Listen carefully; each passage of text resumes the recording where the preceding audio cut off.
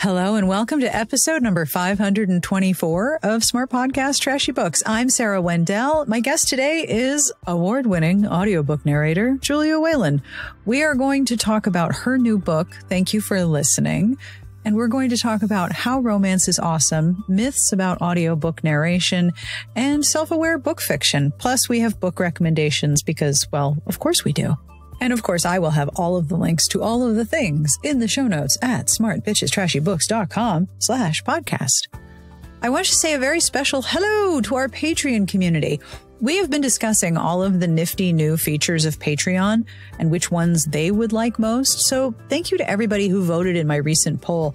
And thanks especially to Jamie, Agnes, Norette, Sandra, Anne, Eliza, and Tara for all of the suggestions if you would like to join and have some fun, we have plans. We have big plans. So come hang out with us. Monthly pledges begin at $1. And you can see all of the tiers and all of the options at patreon.com slash smartbitches.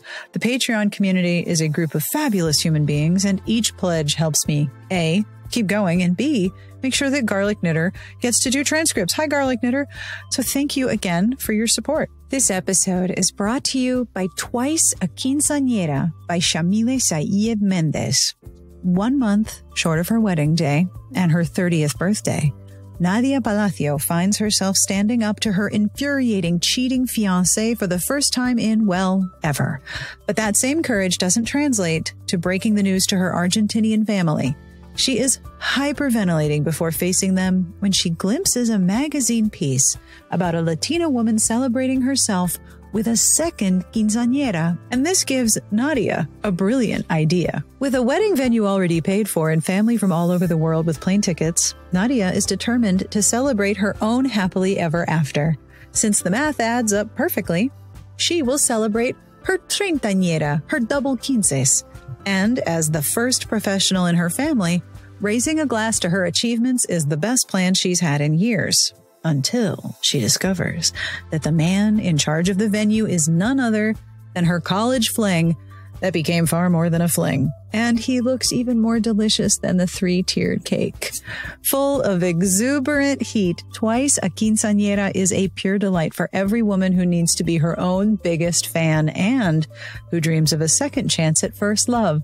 Find a copy wherever you find your favorite books and find out more at kensingtonbooks.com. This episode is brought to you in part by my favorite comfortable washable shoes, Rothy's. I have not ever been someone who gets obsessed about things. Um, I get obsessed about some foods, maybe, sometimes a romantic pairing, a book series, yes, I will admit, but shoes, not really until I found Rothy's. They are comfortable right out of the box. They have incredible styles and colors that I just want all of them. And they are, as you have heard me mention, washable. Seriously, the older I get, you tell me something's washable, and I am like, yes, okay, absolutely, tell me more. I recently went on vacation. Did I bring Rothy's? Absolutely, I did. I brought two pair. I brought my blue points because they will level up any outfit and they're super comfortable and they weigh nothing. So packing them is no problem.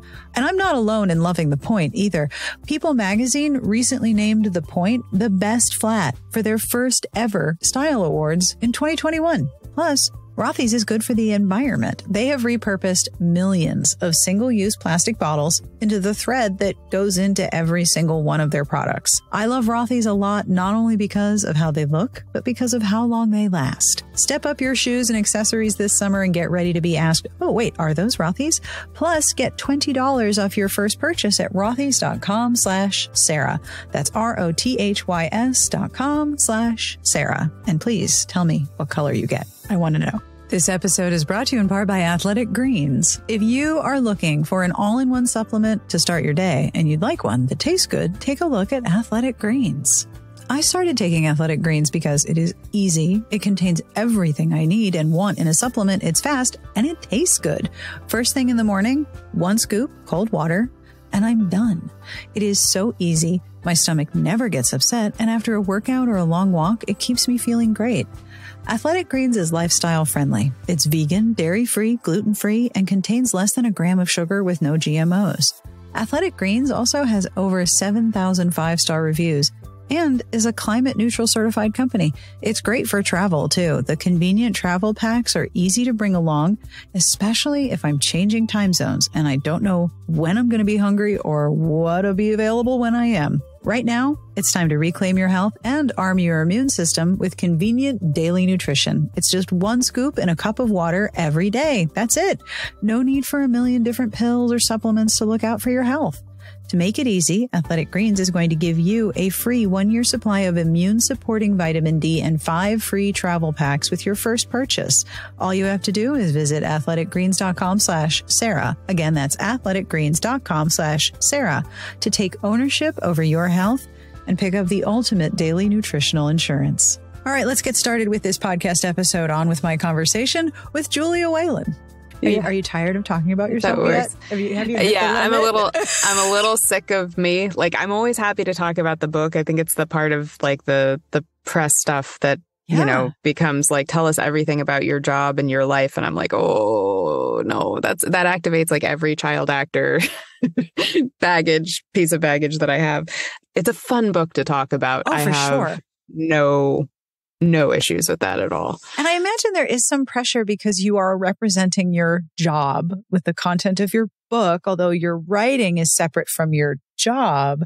And so those are sort of overlapping a little bit now. You know, I didn't talk about the book much when I was writing it. Only my really close friends knew that I was that I was doing this. Um, but once I had kind of I had a draft and I think I'd gotten an editorial letter. So I think I was I was in edits. Um, I happened to see a narrator friend of mine. And I was starting to kind of spin out a little bit where I was like, I feel like I've got to explain this entire industry to people for the first time. And I'm starting to feel a sense of responsibility to that that is much bigger than like the actual scope of this book. Mm-hmm. And she really helped calm me down. she was just like, you're not like it's not your job you're writing a book about this industry and it's fiction you're not required to like carry the entire explanation for this job on your shoulders in this one book. And i was just so great it was so nice to hear that from another narrator who yeah. wasn't like you know well what are you doing for the community? Yeah. How are you representing it? So that was yeah she's she really uh, talked me off a ledge. I could good. just picture her standing with a big fishing rod and just reeling you yeah, in. Like, no, no, no. That's what it felt to, like. You don't need that's to explain She's like, industry. here, have another margarita. Yeah. Calm down. Yep. Like, focus on the book. It'll be fine. Because essentially what you have written is one of my favorite things, which I call competence porn, which is yeah. when your characters are super competent at what they do. And it's just a pleasure to watch them do their little things expertly.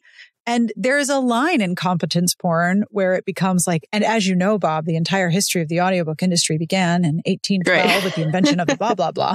Like it, it's really easy to go too far into competence encyclopedia and it's hard it to is. know when to stop. Definitely. My my line for all of that became does it explain the plot or the characters? Yes. I'm not going to shoehorn anything in that does not directly pertain to the story I need to tell. Um, and that was really the dividing line because, of course, there is so much to talk about and there's so much to explain, and people have so many questions. Um, but I, I just finally limited it to the scope of the story, which makes sense. So, yeah. to back up a minute, congratulations on the release. Thank of, you. Thank you for listening.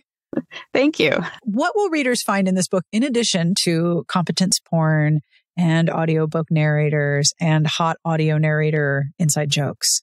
Yes. Um, they will find a journey of self acceptance. I and love one of those. I, I do too. That's what I, I felt that, um, you know, as I was writing it kind of in the midst of the pandemic, it was really, it became a meditation on how we deal with all the things we can't change. Yep. And uh, that was um, that was what animated me while I was writing it. So, uh, and they will find, I hope, some very dynamic side characters, fun, uh, bookish content, and it's very it's very self aware. It's a book that knows what it is. I hope it's just I hope it's fun. I really do. Well, in my opinion, two is a trend. I've long held that if I notice two things, then obviously it's a trend. It's That's, a trend. It's a yep. trend. Two is a trend. But there are there are a number of books now that are very self-aware about being books about book people. Yes. There's every iteration of the library slash bookshop slash cafe of this character, first name, last name. There's Book Lovers by Emily Henry. And now there's this one, which is like the audiobook meta. Was there a point where you were writing this or talking about it and you thought of like, I could just really just call this really, really, really meta? That's the name of this book. It's super meta. Yeah. No, it's funny. I um I was actually I was talking with Emily Henry about this on a on an interview that we did and and you know, that's one thing that I learned from my Oxford year is that the response to people uh, loving the poetry, loving the conversations about literature, and it was such a like, oh, duh moment of like book people like books. and so I wanted to kind of do something staying in that bookish space. Yeah. And it's also because it's like in terms of write what you know, it's not just writing audiobooks, but it's also writing in the book space. And Emily was saying the same thing. Like so much of our life is in that world. That's the world we know, and it's easier to write about. Um, and I think for me, one of the inspirations was, you know, I was, uh, I mean, I've had this idea percolating for like 10 years, but I didn't actually know what the story was until about 2018. And I just didn't know how far I could push it um, like how I it was like, is this satire? Where's the line between when this becomes satire versus a very like loving send up yeah. of something? And that summer, Emily sent me Beach Read. I guess it was 2019. She sent me Beach Read to Blurb, and I just was like, "Oh, you just you paved the path for me. Like, if yep. people can understand this, uh, two writers writing in different categories and genres, and um, and what it says about them and what society thinks it says about them while still being fun. You did it. That's what I was hoping to do. Yeah. I don't know if you've been following the the Twitter threads and the coverage of the DOJ versus Penguin Random House court case. A little bit, a little bit, yeah. There are a few um, executives who get on the stand and seem to indicate that books just magically happen. We have no idea they'll become bestsellers. It's just, right. It's just, it's completely random. That's why we're yeah. Random House. Like that's that was my favorite. I know, I know, that was incredible. as someone who is also somewhat inside this industry, it's infuriating, especially because I know all of the people with the box cutters and the Sharpies and the Excel spreadsheets who are actually doing the thing that is called magic, but it's not magic. Right. It's a person with box cutter and spreadsheets. And one of the temptations, I think, when you write within your world, one that you love so much, is that you are going to be like, okay, so there's, it's kind of magic, but it's also kind of work. Let's talk about the work part. And part of what I think this book does is de demystify the absolute magic of audiobook narration and gives people a real look at how much work it is. That's great. I'm really, I'm happy about that because I mean, we started out in an industry. I've been doing this, you know, 13 years and like starting out in like people did not know what it was. We were still uh, packing and shipping CDs, you know, printing and shipping oh, yeah. physical product, you know, oh, yeah. and Cassette I think tapes. there's like, there's been a long, yes, I think there's been a, you know, it's been really interesting to watch this industry grow eh, to, you know, I don't think people really understood that there were human beings behind these audiobooks, like yep. reading them to you. That's publishers, I think, have done a very good job of sort of not uh, wanting to give us credit for that. Um, you don't say. You don't say. It's just random. See, it's magic no one could know. Who would know why someone would select an audiobook? I really was hoping to demystify that a little bit for people and also just raise the profile of the narrator in the public consciousness, if at all possible, um, while at the same time, hopefully just having fun with this ridiculous job and uh, making people laugh. So how was the process of writing this book compared to my Oxford year? Was this easier? Was it harder? Was it both? Was it just a, a fever dream of cocktails and perfection? God, I wish, yeah. except that in the time period in which I was writing it, it was, I mean, I wrote most of it from the summer of 2020 to the spring of 2021 when oh, like so a bleak a, and dark and terrible a, time. yes. Yeah. Just a few things were going on. Just a few. Um, and my day job is, you know, I'm obviously recording audiobooks, but part of that recording is recording journalism and news for a long form journalism audio app. And so I was just totally plugged in to every bit of news that was happening uh, during that time and then trying to write a rom-com oh dear um, was challenging so oh. But beyond that, um, I think we talked about in the last, when we chatted about my Oxford year, I was working with material that had been created and that I'd had a hand in creating, but there was still a story yeah. that I was adhering to. But with this one, yeah, when you're really just the true master of your own domain and you've got to figure out how to tell a story, it was challenging. I mean, luckily, I've written many bad books before. So like I've had the process of of writing um a totally original concept before, but this one took a while for me to figure out. Like I said, it was really a question of tone, like how far was too far, how meta was too meta. Yeah. Where yeah, yeah, does yeah. it become satire or like sort of mean? I didn't want that, even though like emotionally, that's kind of where I was at at the time. I can understand. Yeah. And also, I, I say this to myself all the time good news, you're in charge. Bad news, you're in charge. Exactly. you have to figure it all out. Yep. Been yeah. there before.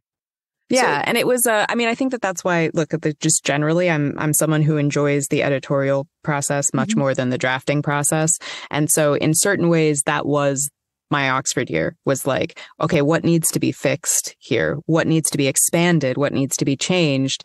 Not what needs to be, you know, What's created whole cloth out of mm-hmm. everything and that was that was the the difference here but really gratifying and like i said this went through so many different iterations over the course of 10 years of like what i thought this story could be and so many things changed that by the time i actually sat down to write it it's like i pretty much knew what i wanted to write uh, but that's something that only time can give you Yes. and like again in this kind of rush of this publishing madness of like people really wanting a book a year or something i'm just like there's no way there's no way not the way my brain works nope Ooh. I don't remember who originally suggested this to me, but there's like a crock pot in the back of your brain and you just chuck things in there and maybe eight hours, eight days, eight weeks, eight months later, a fully formed idea is just like, hello, I'm your dinner tonight. And it just, it, your, your brain needs to cogitate on things. And sometimes that takes longer than a year.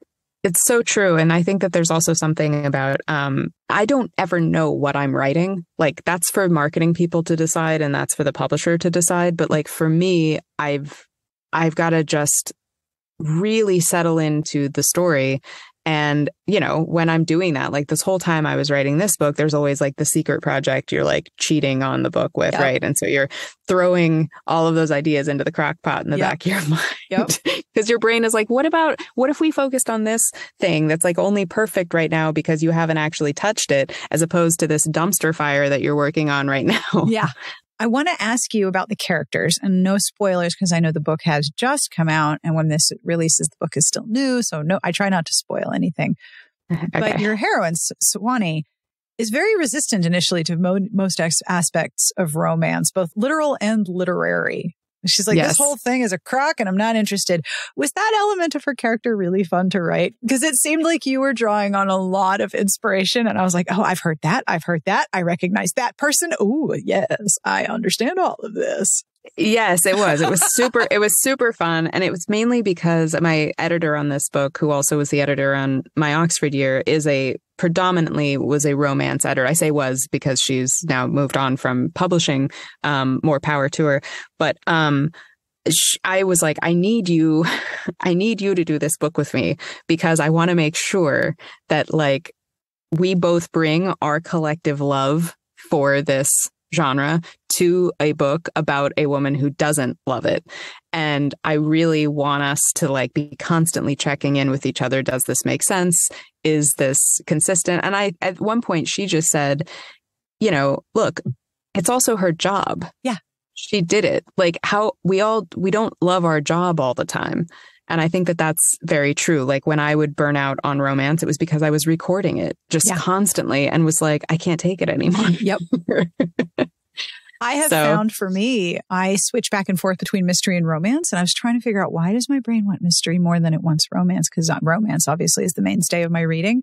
And I realized it was my brain wanting more of a puzzle. I need to not know who did the thing. yes. I, I know how, I know they're going to end up together. And a lot of the time that's a very safe place for me to put my anxiety. But I also know that I get tired of that knowledge and need to know more of a, of a mystery. Like I don't, I don't want to know that they're not going to be together. I don't want to read a romance and then have them, one of them die. That's not what I'm Yes. looking for. But I like the question of the mystery when I read a mystery novel oh, I don't know who did the thing. I'm going to find out who did the thing. And if I'm reading the clues, I might pick it up but it's more of a puzzle for my brain. And I think yes. for me, I, I totally get that. Yeah. And I think part of it too is like for her character, it's not the love story, it's the guarantee of a happily ever after, which she has seen the other side of and just doesn't feel that that's, um, realistic yeah. and i think that part of what i've always found is this the the way that romance is treated in popular culture of like oh these women who think this is you know this real they can't separate fantasy from reality and it's like talk to romance readers. Yeah. Like we all get that. Oh, yeah. That is not what the debate is about.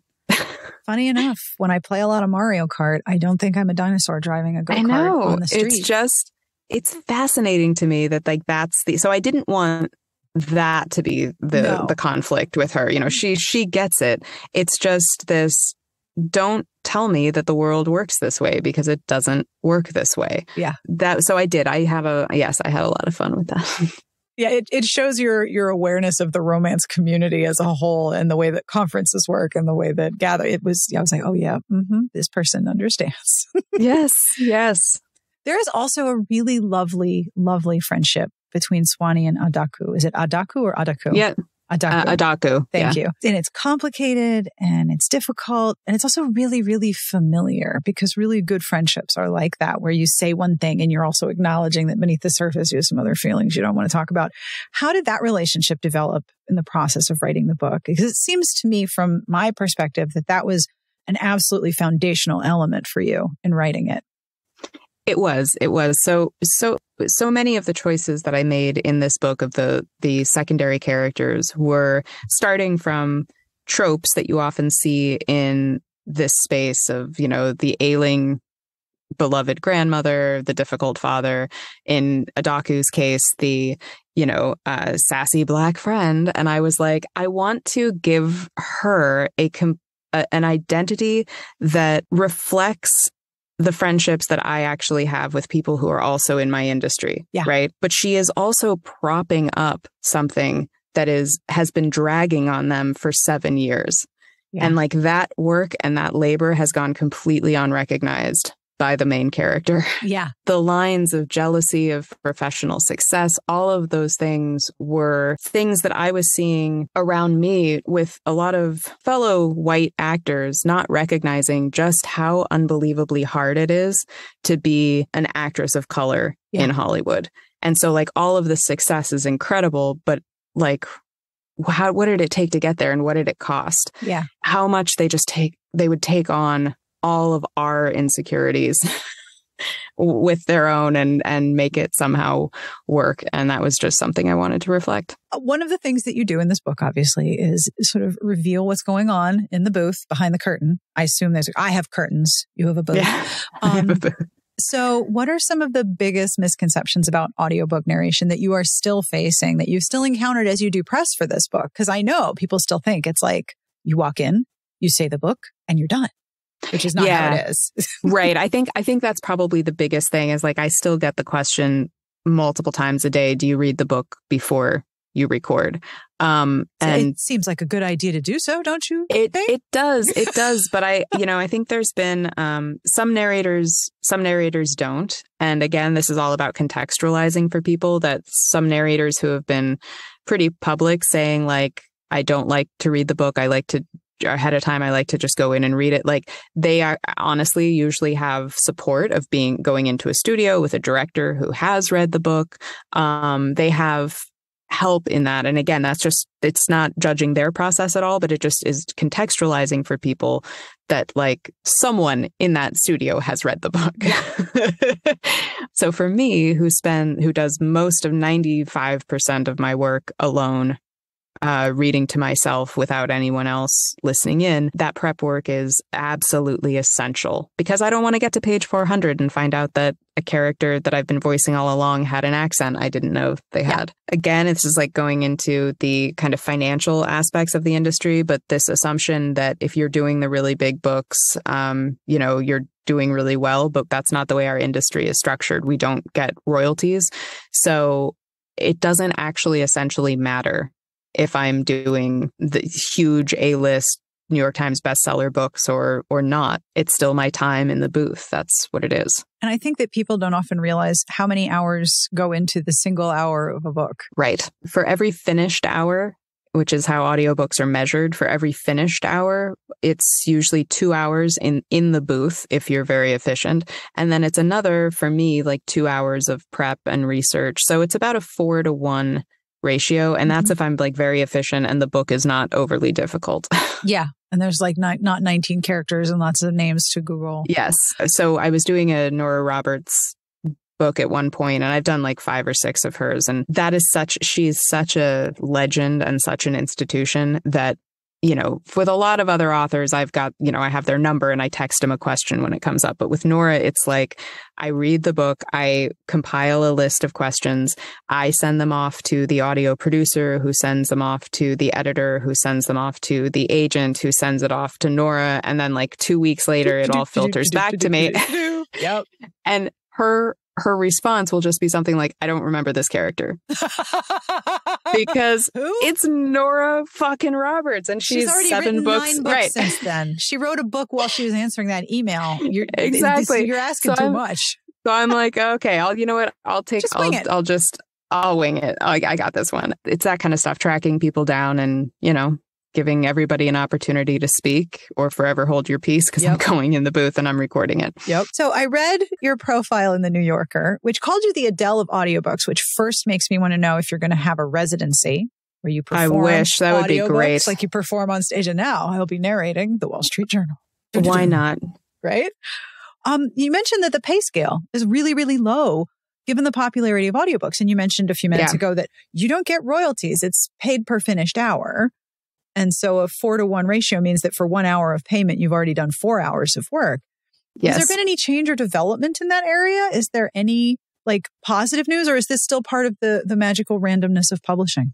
Yeah, I mean, this is part of what's this is part of what's happening, and this is you know when I I was talking to the journalist about this. This is what you know she really latched onto, which is a fair point, which is audiobooks are so unbelievably popular right now Extremely. and we're still working on this this old model what is very irritating as a just to be blunt but as a as a person who has been a SAG-AFTRA member since I was 9 um, and has been doing on camera my entire life and still getting residuals for you know work that I did when I was much younger um, it's very disconcerting to be an actor in a field where you don't get that, and especially in a field publishing that already has a royalty structure. It is a royalty based industry. So on both sides of it, it feels unfair to be in publishing and not receiving that, and to be an actor not receiving that. Like, I think a lot of stuff is just up in the air. There are narrators now who have like massive TikTok following. You know, work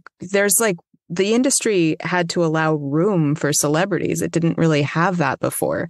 And now that it does, I think it's going to have to figure out what it's doing. While at the same time, we have the introduction of AI, and I don't know how much work is actually going to be left for human narrators anyway. So, like, we don't know. It's all up in the air. And in reality, like the costs of audio production for how much it makes, this is an industry that has grown. It grows like 20% every year. Oh, yeah. Um, it's p- part of the only part of publishing that's actually doing well. So we are not expensive nope. for how much this product makes. Okay, I'll step off my soapbox now. so I was going to say, are you going to run for audiobook narrator union president?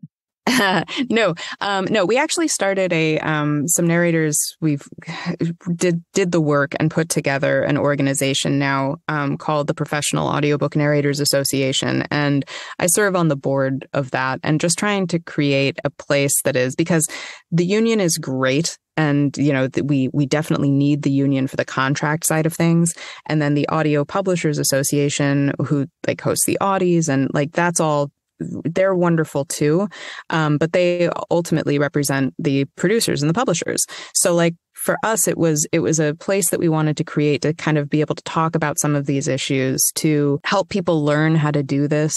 Yeah, you know, if we're going to have a shot of surviving what's coming, we really need uh, to be cohesive. I mean, it seems to me that audiobook narration is definitely an example of invisible labor. Like you said, it's four hours to one if you're doing real, real well. Otherwise Yeah. it could be six. I mean, when I've, when I've started to try to narrate audiobooks, my first, my first recording, my first chapter took me like three hours and then Yeah. finished editing. It was like 16 minutes. Right, right. That's what it is. It's hard. It's hard work. Mhm. It so is. what are you working on now? Can you talk about what you're working on now? okay, so the next book, I don't, I'm not sure yet because I'm playing around with a couple of ideas. I actually kind of wanted to see the reception to this book, and, you know, that helps me kind of decide where I'm going to aim next. In the meantime, I have been actually exploring the book that they are recording in the book. Oh, The- I love this. Yeah, yeah. The because I I've had a very chaotic, very very hectic first part of this year, and uh, so the only thing I could focus on is I was like, hey, I had to figure out the story. I had to figure out the characters. The work is kind of part done. It's a romance novel. Like I can I can let me just do a very bad draft of this and see how it turns out. And so I've been working on it and I actually kind of like it. But that said, I make zero promises about what form it takes or how it lives. It might just be audio only. I don't know. I don't know.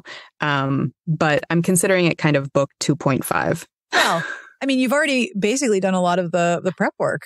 Yeah. You've done it Yeah. three out of those four hours. Yes, exactly. Now it's just getting in the booth. Yeah. Yeah, you Yeah. just got to sit down and say all the words. No big deal. Yeah. But that part's No big deal. easy. It's yeah, fine. it's my it's my favorite thing people say about romance is, oh, you know, maybe one weekend I'll sit down and write one. Here's what kills me about that. And, I, and I mean this because it is, again, it's just the thing that romance does not get enough credit for is exactly what you were saying earlier, which is we all know how it's going to end. Yep. Do you know how hard it is to make something interesting to a reader when you already, when they already know how it's going to end? Yep. That is, that is skill. that is a big skill. Absolutely. I mean, that is huge. And that's why I just don't think like obviously the genre doesn't get enough credit. The writers don't get enough credit, but like to do that, to create that sense of suspense in a reader who essentially knows what's going to happen, God tier. yeah, right. It's no it, when when you are surprised by the end of a romance, it's like, wow, that's skill. Yes. That's my favorite tension, actually, especially when it comes to massively complex worlds or even extremely simplistic versions of modern day life. When I cannot figure out how they're going to resolve this conflict, Yeah. right? Like if I can't figure out, okay, well, you are trying to destroy the place and you are trying to protect the place and you both have like zero sum games on your sides. How are you going to resolve this? Because Yes. there's no partial destruction here. That's, that's amazing. It is. It is. I like it. That's, and that is true. That's the, the, you know, we've talked about this before, but like the English major lit nerd part of me just is like on a craft level, Oh, just they blow me away. I- so great. I love reading a book when I finish it and then I go back and read it again. I'm like, all right, now I need to see the scaffolding. How did this work on me? What Yep. was the, what worked on me? Because there's some books, no matter how many times I reread them, they still work on me. You can't see the trick. Nope. I cannot see the scaffolding. I cannot see any of it. I'm just like, yep, you hit me right in the heart. Uh, again, this is the 12th time. Thank you very much. Right. No, it's like watching a magic trick, like close up magic. And you're just like, I didn't see again. I knew, I knew I was going to see the ace of spades again. And it, I just don't know where it came from. How did you do it? so what books are you reading that you want to tell people about?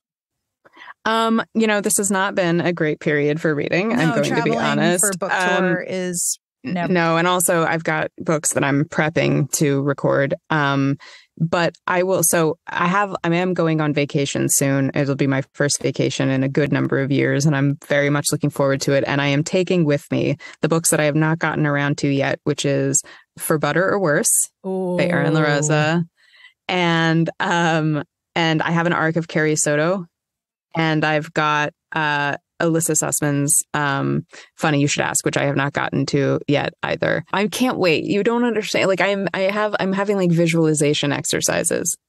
so good. You're going to love it. I'm so excited. And I have I have a book that might work for you because it's like undoing a lot of things. Um there is a book coming out that is by Julie Murphy who wrote Dumplin and Sierra Simone. Oh, I read that. You we did have the same publisher. I saw our publicist talking about that book and I was like, "Oh, I'm going to need to see that please Little because Cute. yes, Have you already read it? I did. I burned through that one. Yes. Yeah. oh my God. Because here's the thing. I was like, I can't, I could not, again, because I just, I, Sierra Simone's one of my favorites. And I just was like, I can't, and so is Julie Murphy, but in totally different ways. Yeah. And I just was like, I need to see what this unified voice Yeah. is. Like, this is, I'm not um, able to understand this in the abstract. No. No, it's incredible. I sent it to um uh, I had them send it rather to a friend who is a Hallmark uh actor. And I was and I was just like I was like Speaking you're going to love this. my friend. Yes, I was like you're going to love this. This is the intersection of a lot of your interests. That's exactly and I was like it, you are right? going to love this.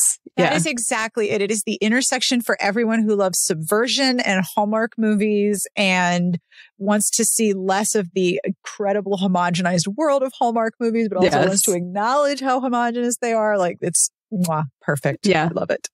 it was it was incredible. So yes, I did I did manage to get that in. Um and then I I have been I just finished prepping um Allison Wynne Scotch's The Rewind, Ooh. which is super fun, really like nostalgia fueled second chance Yep. thing and uh great. It's going to be a lot of fun. Well, where can people find you if you don't wish to be found in your booth? um, I am, I think, across all platforms, just Julia Whelan, and I'm mostly active on Instagram, uh, and then Twitter, and then I. Not really Facebook at all, but I'm experimenting with TikTok, although I just don't think I ultimately will have the patience. I understand like- completely.